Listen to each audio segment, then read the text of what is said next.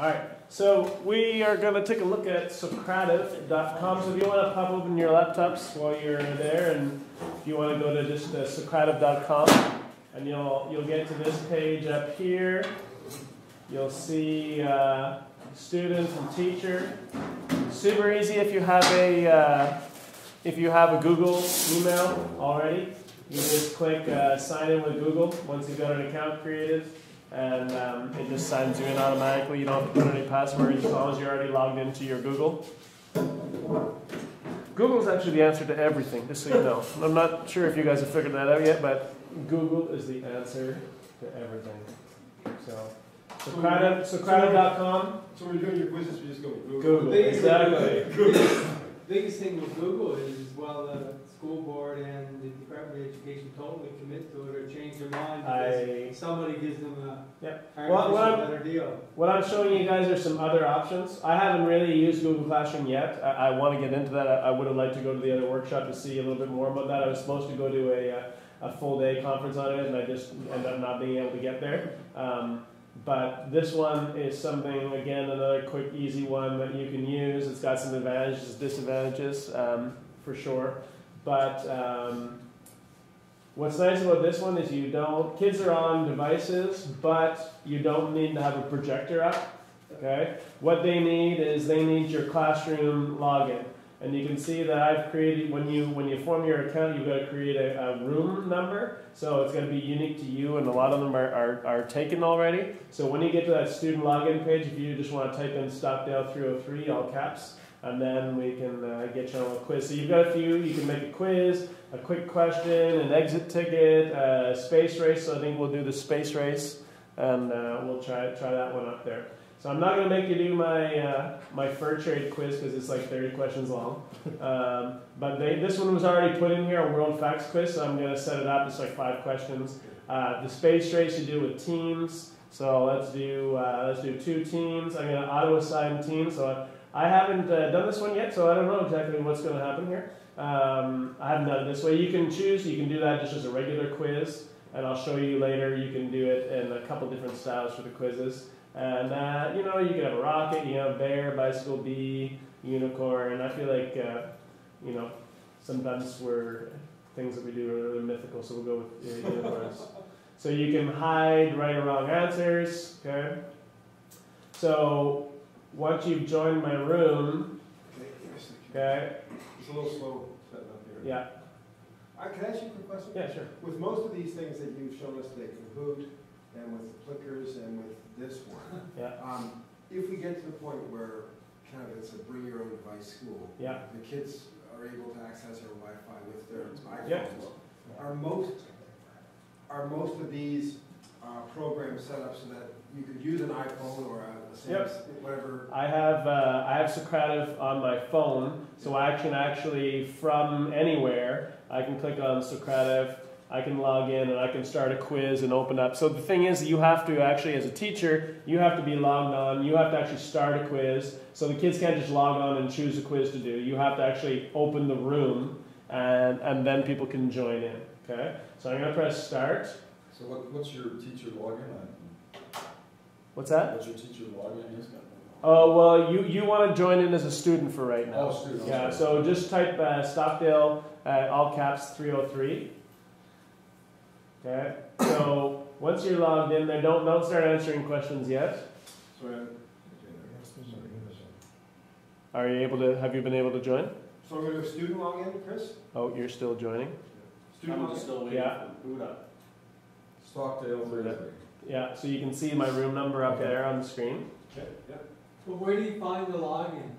up top. top. Just click on student login. Student, student But how do you get to the page? Yep, yep, student login. Okay. Oh, you gotta go to socrative.ca. Oh, uh-huh. Dot com. So, socrative.ca. So then it says, so Stockdale three oh three, is that case sensitive, Chris? or- Yes, it is, yeah. Okay, so you are, So all caps. You can see the room number up there. I'm on the blue team.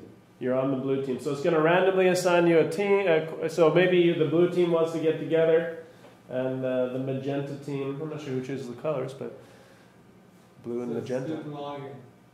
Yeah, and then type in Stockdale 303. Oh, I got, I was asking you a question. Yeah, don't don't start answering yet. Oh, till Team Blue. In. Team Blue. Okay, Team Blue. So you guys come. Go blue.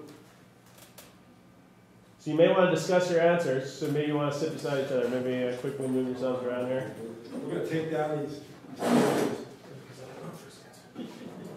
So like I said, this quiz was already made in there. I just I just used it because it was already there. Can you see Um, my, can you see the names that we've chosen? I will be able to when I export the results. Okay. Yeah. Yeah. So again, I, I don't have a naughty name uh, button on this one. So Are you in? Maybe you want Should to we answer- should we answer questions now or wait? are you in magenta? Are you on team magenta? Um, yes. Okay. Are you joined in the team yet, uh, Wayne? Still waiting. Get logged on, take quiz. Just kind of froze on. Yeah, screen Screen What the heck device is that you got there? I don't know. You know, I special- know. I'm on, uh, I'm on Wait, Voice.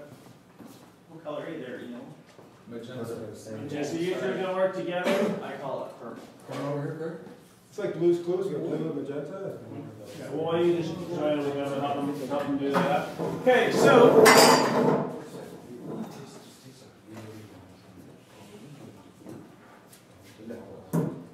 yeah, that one, those ones are slowly netbooks, unfortunately. All right, so you can start answering questions now. Okay, you work together as a team. What happens if we're both on Team Blue and we both try to respond? Yeah, that's a good question. I haven't done this one yet, so that's why we're experimenting here. Just respond, yeah, and I want to see, I want to see what it comes to here. Oh. Oh, Okay. So again, you don't need this screen up here, right? Because the kids aren't seeing. It's just me seeing that on my computer, right? So that your questions are coming on your laptop, which is different from Kahoot, right? Okay. Kahoot, you saw the questions on the screen, and Plickers, you see the questions on the screen. Yeah. Okay. Okay. So I believe you you should all answer on your own. We just got it right. What did you say? So you can see that on my screen, I, I'm seeing that people are starting to complete the questions. So you can see uh, see what's going on here.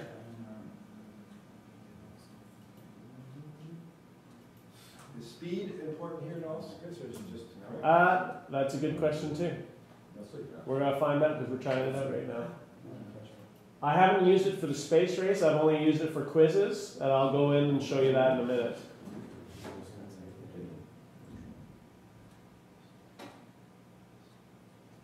You put in, did you put in the right answer? Yeah. Okay, I'm gonna put in the wrong answer. Let's see if it moves us back. I think that is that. That's just how much of the quiz you've completed. Oh, okay. I think it's not necessarily right or wrong answers. Oh, my, my, sorry. My, my, my Okay. power cord. Did is work up this my time. room and I just- just shut it down. All right, who's got a team? I couldn't, I couldn't get it, I'm gonna go up together. Yeah. So, good job. Well, why don't you just wait till we're done, done this little part? I think actually it's recently, Here, use the iPad. Or actually, I think it's recently. It's the same one. Yep. Should have thought of it without. Okay, so has everyone answered all the questions? So No, well, we did this team. Yeah. Do we each have to do it, or can we do it as? a I team? I think you can each do it. Yeah. Oh, okay. So you can see I've got five people in the Now, group. wait a I can see that. So if we each do it, it will kind of put an amalgam of our. That's a that's a question I'm not sure about yet, and because I'm doing this one as an experiment, I'm going to go in and show you what I have done with it. Okay. Um,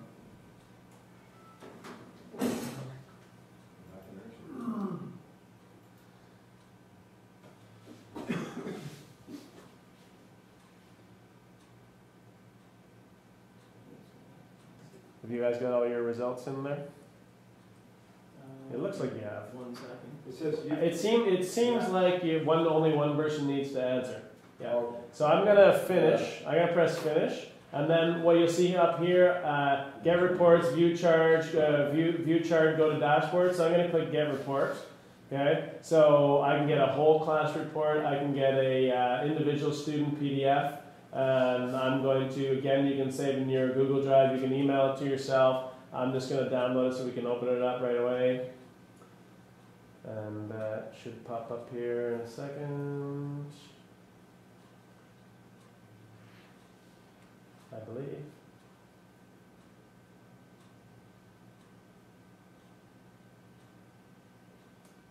Hmm.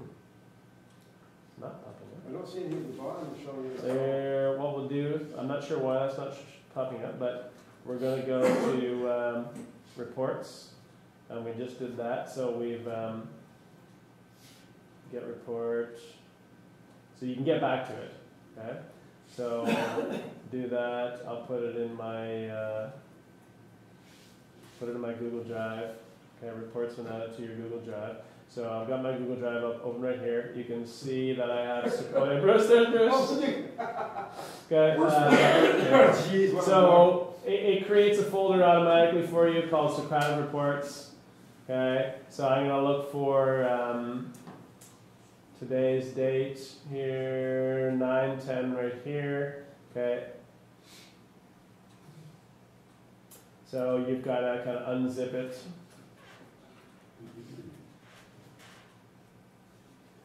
Okay, so extract now. Okay, so I do get an individual report for each student. So let's open up this one and see what it looks like. Okay, so I have your quiz right here. Okay, so this was, um, it said on the quiz who it was, right? Send them a list. Yeah, go back to Okay, that. so let's go, let's go back to that. Student, List. Stockdale three oh three. So someone didn't put in a name maybe? So let's see what it said for, ch- for choice then. Okay, so this one was saved, so put in your name. So I guess maybe some of you didn't enter a name, I'm not sure. Um, but you can see he got four out of five. So and then from there, right, from Google, if you wanted, right, um, you can share that and you could put the student's email in there and then you could send it right to them Look at the quiz. the quiz. Cool. So, um, so that's pretty nice. Um, now, when we look at Google Forms, I'll show you it's much easier because that'll be automated for you. Um, so that's a nice aspect of it too.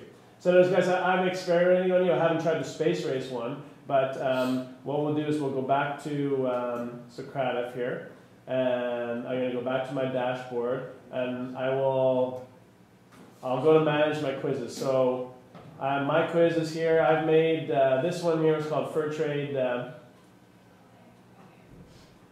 Fur Trade uh, multiple choice questions, so I can uh,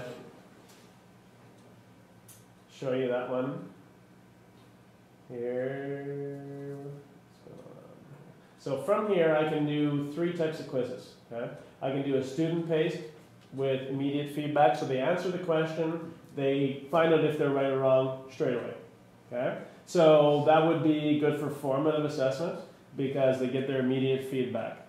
You could also potentially use this for summative because if you do student paced but student navigation, that means they can go back and they can change their answers. Okay? So it gives them the ability to edit their answers. And again, if you want to do teacher pace so they can't get ahead of you, okay? So um, Chef, you were talking about wanting to use it for something in your class. If you don't want to let them get ahead, you choose teacher pace, so you decide when they get to move to the next question, right? And um, so what, what I'm going to do is I'll get you guys to, uh, I'll do uh, immediate feedback, and don't worry about the, like you might not be able to answer my Canadian Fur Trade uh, quiz, but just to show you what I see when they're going through, I'm going to start it, start this quiz, and I just want you to join the room again, and then you'll see what, what a teacher will see when, when people log in, right?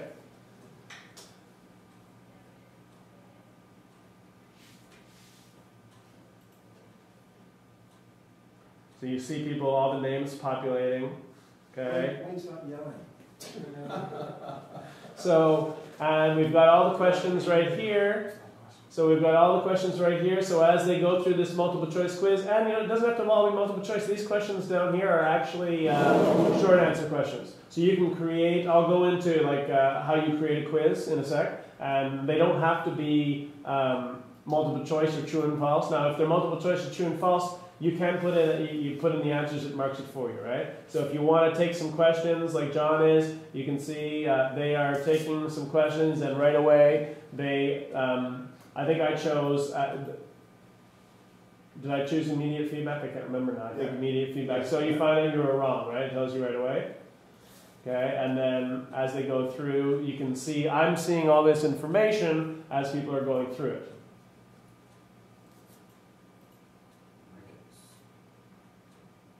Okay, so it's uh, it, it's actually I found it easier to put in questions than I did in Kahoot because there weren't as many restrictions about characters. You can just keep typing. Either, well, I'm not sure if there's a limit, but I didn't I didn't reach the limit of anything. So it was easier for me to cut and paste.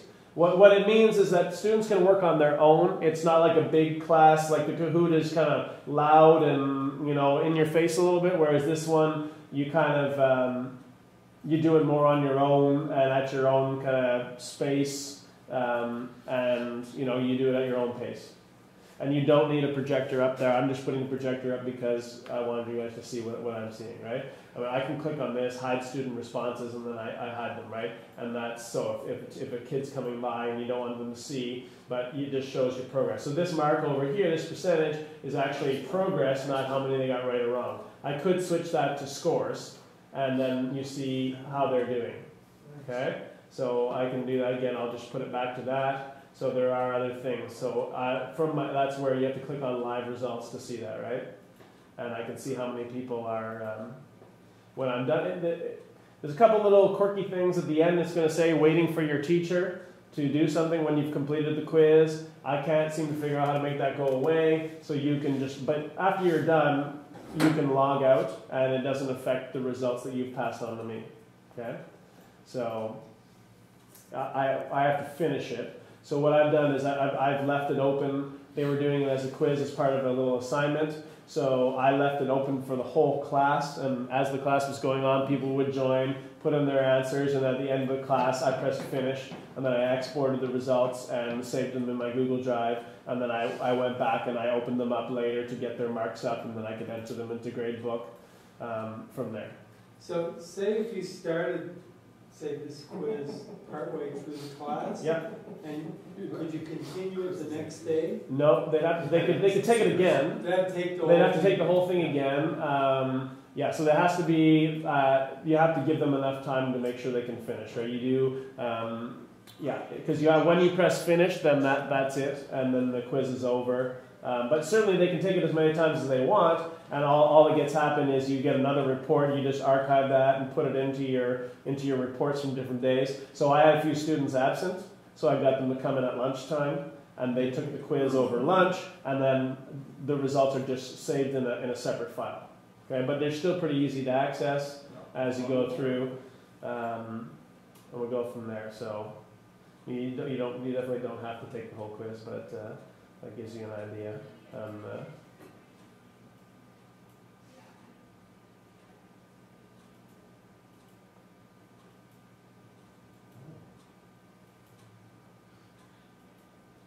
this one was a little bit longer, like I said. So So question twenty-six is open-ended. yeah, Twenty-six, twenty-seven, and twenty. and I put in answers. Yeah, I see, yeah. right. Yeah. That's why, I just went, I just put A, B, and C, Yeah. just so I could see how Yeah. they responded, and they gave, uh, gave suggested answers. yeah. Yeah.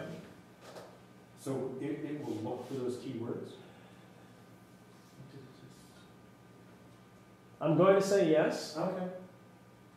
I'm not 100% sure. What I did when I marked this is I, I, I, uh, I looked at the results and then I made sure I, I reviewed the, the short answer and to see what they, um, what they decided was right or wrong. And then I, I kind of adjusted my mark based on that. But in general, like, what it still does is it gathers everything into one place, right? So, So see if you know, what, what I can do here is if, uh, if you don't, does ever, anyone really want to finish or can I just, uh, Just let John. so we'll let John finish here, and then I can export a, a report for you to look at. Okay, so I'll press finish. So basically, those of you who haven't finished, that's all right. We're, we're just playing around here. I'm gonna finish. I'm gonna get my reports. Okay.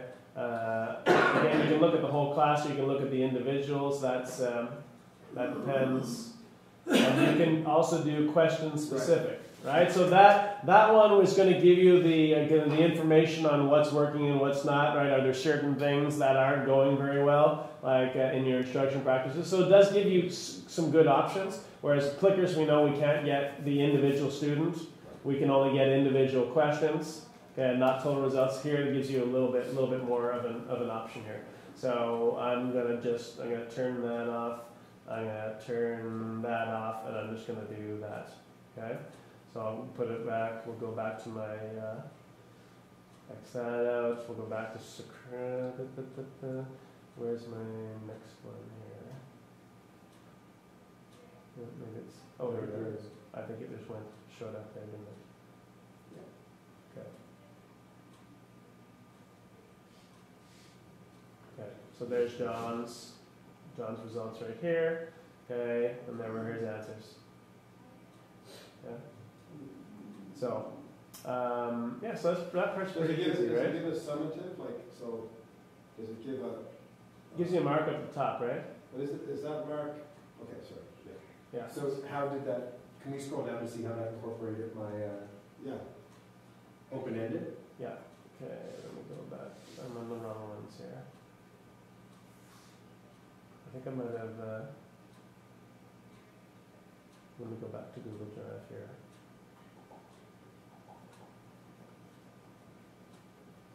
There we go. So, Yeah, mark you- you do one, mark page four, so it did eight. Now, why did it do it like that? That's weird there. Huh. Going. This is eleven pages. There you go. Okay, there's the rest. of Question it. number eight was, was, looked weird. Yeah, I'm not sure. I've never seen it do that. I'm not sure why it's saving it like that. Yeah. Oh, it's Uh, a separate page. I don't know. That's a Yeah. good question. I don't know why it's saving it like that. Maybe I clicked on a different uh, setting by accident. go down to the, we're- going to see the, um, the, uh, independent answer. right there. Yeah, so we'll go here. Examples. That's I've never seen it do anything like this, so I'm not sure exactly why it's doing. So there, give two reasons why. So you have Castor, Grau, Gold. So it doesn't look like it's actually marked those. Okay. right? So I think those would be up to you to, to give a mark to. I think it's gonna be, uh, I I really don't know why it's done that. These things, again, like they're, you know, they're free online apps, right? So they're not, they're not perfect, but I've never seen it do that. Uh, all my reports have come out like just as a PDF and pretty straightforward. So I, I'm, I maybe, I clicked on something weird, um, when we did that. But it, but certainly the information is there. I mean, it's all, all saved in there. Um, and it's uh, you know it's pretty easy to find. So what I'll do now, if I can find where I was here, go back to Socrative. So let's go to manage my quizzes, and I can just show you quickly. You can import a quiz, but it has to be set up in an Excel template. So there is a template here that you can fill out. So you can put in your questions, you can put in your answers, and then you can import it. I'm not sure what the benefit of doing that would be um, instead of entering it directly, except if you already had something made in Excel, but Right. I, Maybe I, some- doubt any of us do. So um, we'll go back here. So you can create a quiz, type in a name, okay. Okay, if I want to share it, you can share it to other teachers and things like that. So then it gives you your choice of question. Do I want to have multiple choice, a true, false, a short answer? So we can create a multiple choice here. I'll put in some things. You can uh, have in whatever you want in here. Okay, your answers. You, you click on which one you want to be the right answer. Formatting. Okay, it can give you again if you want to do if you're doing science, which we don't need that stuff, right? We don't use that stuff. So I'll just turn that back off. Um, and then you can add an explanation underneath. Okay, so if you're going to do this, this the, the paste one, where they get the right the, the answers right away, you can give some information in there, add that underneath. I didn't do that in the first quiz that I uh, that I tried. And then again, so I want to do a short answer question next. Okay, when I put in my short answer, I can add my explanation.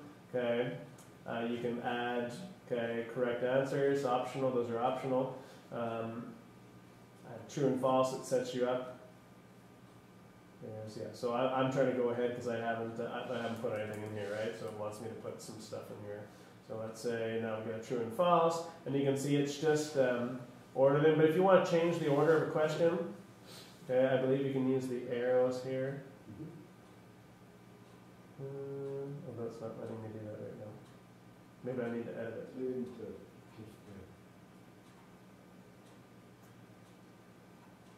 Okay, I'm gonna save. Let me use this first. Choose what you want. Okay. I'm gonna save and exit here. Quiz save. So let's go to manage my quizzes. My quizzes. Let's go to this one.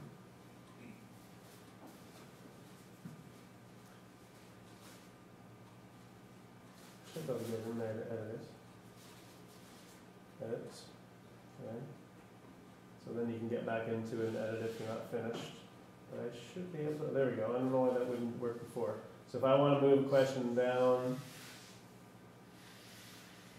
yeah, so you can move things around. Um, yeah, it's pretty, it's pretty easy to do, okay, get your quiz in there. Um, there are other things you can do, like a quick question, okay, those are really, really easy to do. You can do a, uh, an exit ticket, okay? So set up an exit ticket, they answer a couple questions, so if you wanna just do a quick thing, it'll populate a, uh, a report for you if they're on maybe at the end of the class. You wanna see what they got out of the class, see what they understand of the material, exit ticket, they fill that out, it goes, goes to you, you can do a quick little read, and, you know, do, are they showing an understanding of what we're talking about? Okay, so it's just a way to collect it all together. I'm going to show you another way in a sec, though, because um, using Google Forms, I think you guys did a little on Google Apps, but there's a couple things. I don't think you guys really got into Google Forms, did you? Because that's mostly Socrative. Um, you know, again, like, like I said, this is this is all kind of new to me. I've tried a bunch of these things, so you kind of got to get in and play around a little bit and um, and see how they work. You know, do they work for you? And um, but I, I find them I find that they work pretty pretty well. So Chris, right, so you're looking at Kahoot. Yeah. And Plickers. Yeah. And Socrative. Yeah. Uh, clearly the Plickers is different in that you don't need a device in the hand of the kid. Socrative and Kahoot, you need a device in these kids' hands. Yes, you don't need a projector for Socrative unless you're doing the space race and you want to show the uh, the little um, the little things going on Right, so there. the- Yeah, so the, so I'm just, I'm just trying to get things. Yeah. The Kahoot is more based upon, uh, you, it's kind of like clickers with a, a machine. Yeah. You need, you're, you're, you're looking at a common screen. Yeah. You're sharing. This, this can be done at a student's pace. It's Yeah. almost like, um, you know, you're writing, uh, some, some, uh, international exam and you go in at a certain time and it's there you start at your, your own pace. Yeah, as long as the classroom's open, they don't even have to be in the classroom with you. Right. Right? You could be in sitting in the classroom. They could be in another classroom as long as they have a device and they know they uh, they know what your your classroom number. Number is. is- Right? So Or you have, do you have, do you have to set it? So in other words, if you said, if you set this quiz up for them, right? mhm. Um, and instead of doing it as a sort of a formative in class, you sort of did it as a formative at home. So, so tonight, there's a quiz up there.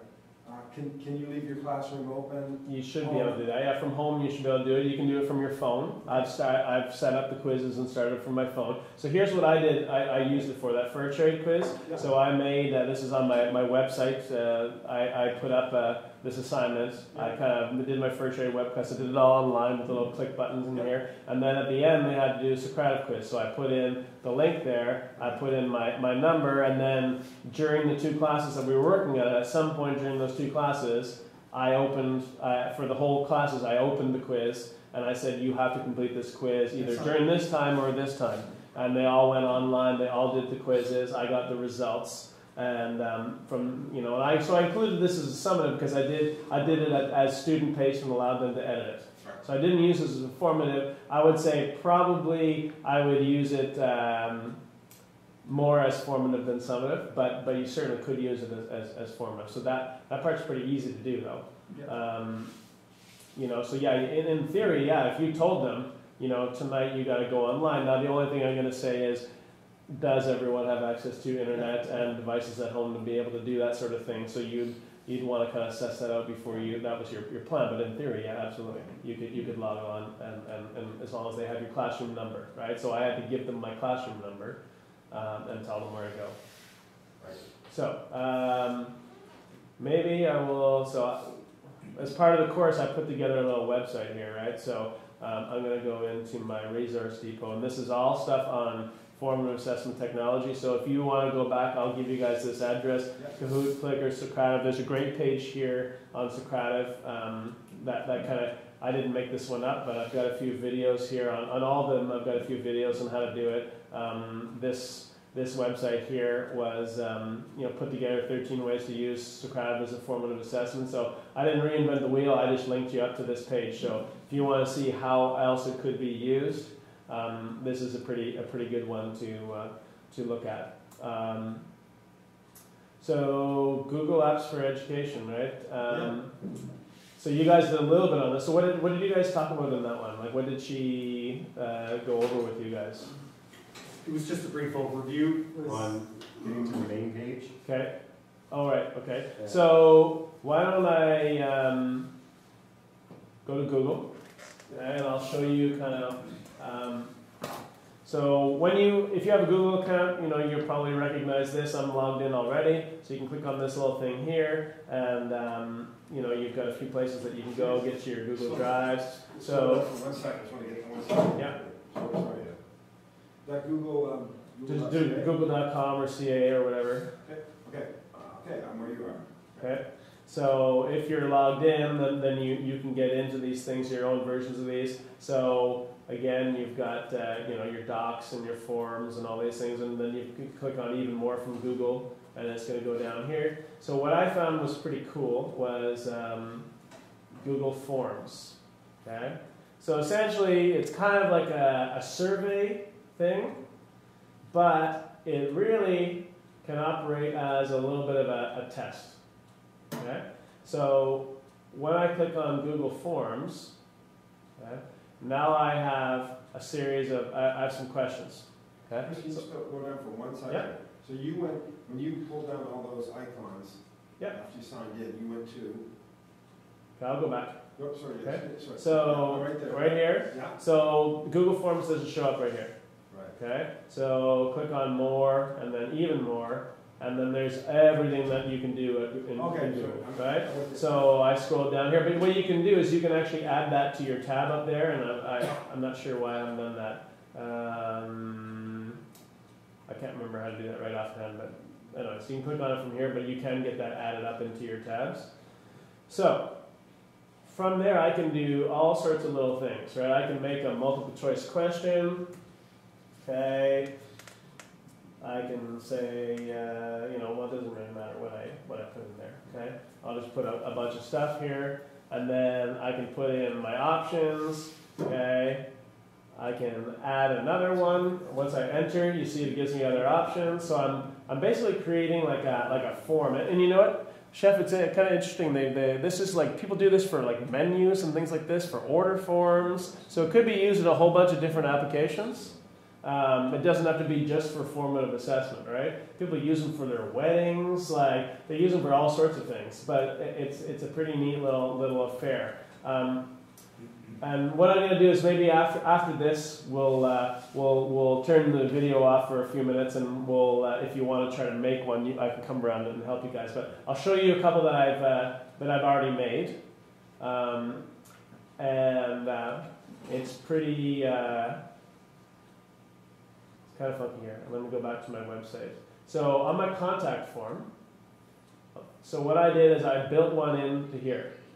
Okay, so this is this is a Google form. So you enter your name, you enter your contact info, and you can provide feedback. So what I'm actually going to use this for is not only for like for my website that I made because I had to do it, but I can use this actually as an exit ticket right here.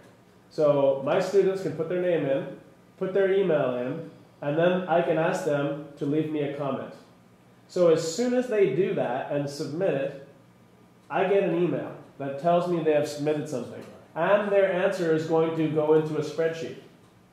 So then I can print out those spreadsheets and I can see. So if I use it as an exit ticket, I can actually have their little their little blurb that they put in there about whatever we're talking about. Let's say it's uh, you know the, the land route, uh, uh, you know how people got here. You know, tell me what you know about the land route, and then they can say that in there, type it in there. I'm going to get an email that they submitted it, so I know to go check it. I'm going to get a form, a, a spreadsheet that has everyone's answers in it, everyone all the all the feedback they've given, and that, that's just like that takes five minutes to do.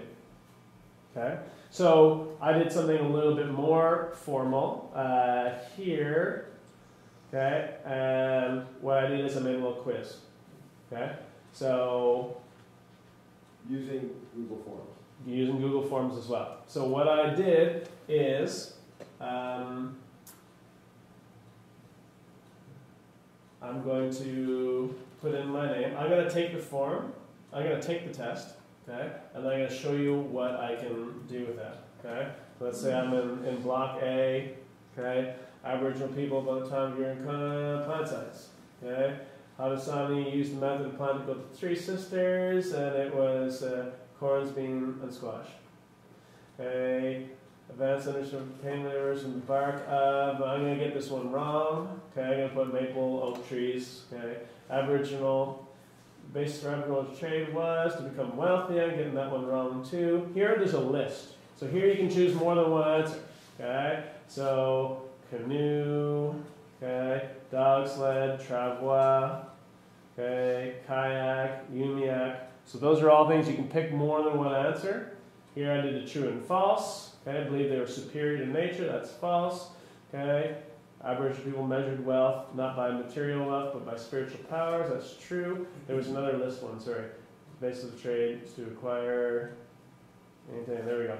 Okay, so I'm going to submit that. What I can do is that I then go to my Google Drive. So when, when you know people have taken your quiz, I should get an email notification. Let me check on my phone here. See if it's uh, come in yet. You can set up your, your quiz so you'll get an email notification that some so any, so this one any people can take it anytime. Okay? So you could send them home with this one and you don't have to be logged into anything. They just have to know where your site is. So I told the kids how to get to my website. They got onto my website, they took the quiz. Okay, so I put in a little note here, okay, that says, great job, your results will be emailed to you.